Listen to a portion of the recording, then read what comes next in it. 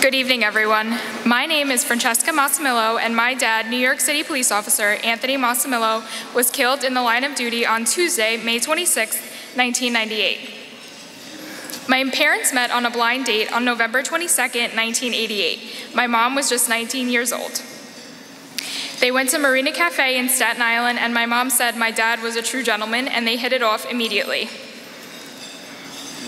Within weeks of dating, my dad told my mom, I can't believe I'm going to say this, but I'm falling in love with you. My mom has often said what most people do in a lifetime, she did in a, in a decade. She met and fell in love with the love of her life. They married, had me, purchased their first home together, and unfortunately, she buried my dad just two weeks after her 29th birthday. I was two years old when my dad died, so I don't have any memories with him, but I do cherish the photos I have. Through pictures, I can see the love my dad had for me. He loved playing with me, taking me to the beach, and taking me to the park near our home in Brooklyn, which now has a memorial plaque in his memory. My absolute favorite photo with my dad was taken on Sunday, September, uh, May 17, 1998. My dad worked the Norwegian Day Parade that day. That morning, when my dad was getting ready to leave for work, my mom noticed he was leaving the house with his uniform on, and my dad never left the house with his uniform on. He would always get dressed at work. So my mom ran to get her camera and told him, I want a picture of you in your uniform holding Francesca. My dad said, She's not even dressed. I was only wearing a diaper and shoes. my dad picked me up and put his work hat on me. My mom snapped a few photos. These are the only pictures I have with my dad in his uniform. Later that evening, when my dad came home, he had a Vikings hat that he bought for me. I still have and treasure that hat. My dad was killed in the line of duty just 10 days later. My dad missed out on my entire life. He never took me to my first day of school or any school dances. He wasn't there for my Sweet 16 or to watch me graduate from high school.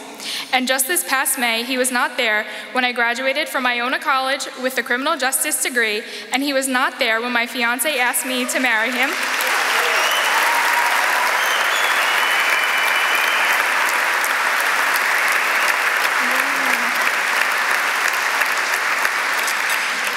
Proud to say that I'm a New York City Police cadet waiting to enter the Police Academy.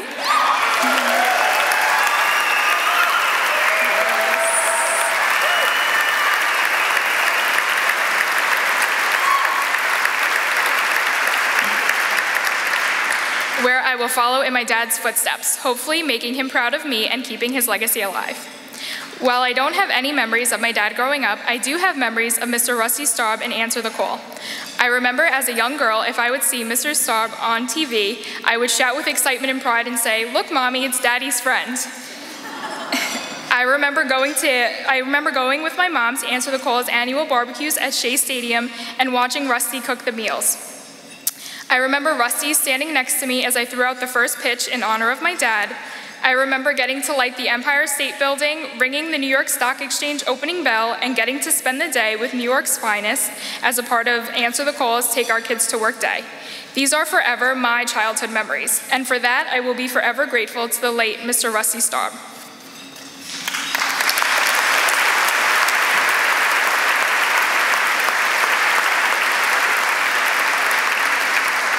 I know in my heart that when Rusty passed away this March and reached the gates of heaven, he was greeted by a sea of police officers, firefighters, and EMTs waiting to thank him for taking such good care of their families through fun filled family events and through much needed financial support. I'm sure my dad greeted Rusty with open arms and thanked him for going above and beyond in his promise in never forgetting and honor, honoring the sacrifices my family made and continues to face.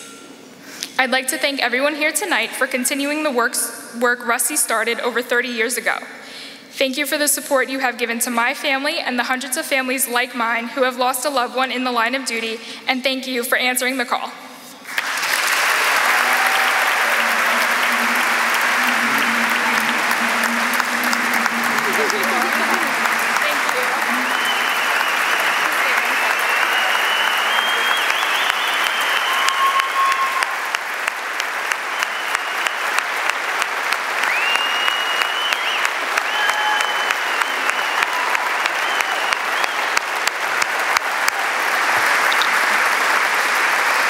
Thank you so much, Francesca.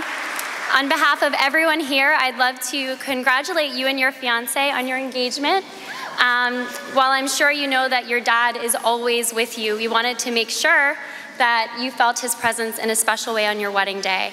And so we reached out to our friends at Kleinfeld Bridal, and um, they would like to invite you to their store and have you pick out the wedding dress of your choice as a gift to you in honor of your incredible dad.